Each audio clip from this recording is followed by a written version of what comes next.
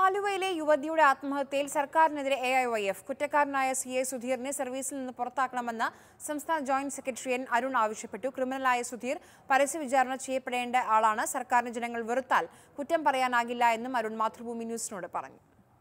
Circle ഇൻസ്പെക്ടറെ പുറത്താക്കുകയും നിയമത്തിന് മുമ്പിൽ കൊണ്ടുവന്നുകൊണ്ട് അറസ്റ്റ് ചെയ്യുകയും ചെയ്യും എന്നാണ് എ ഐ വൈ എഫ് പ്രതീക്ഷിക്കുന്നത്.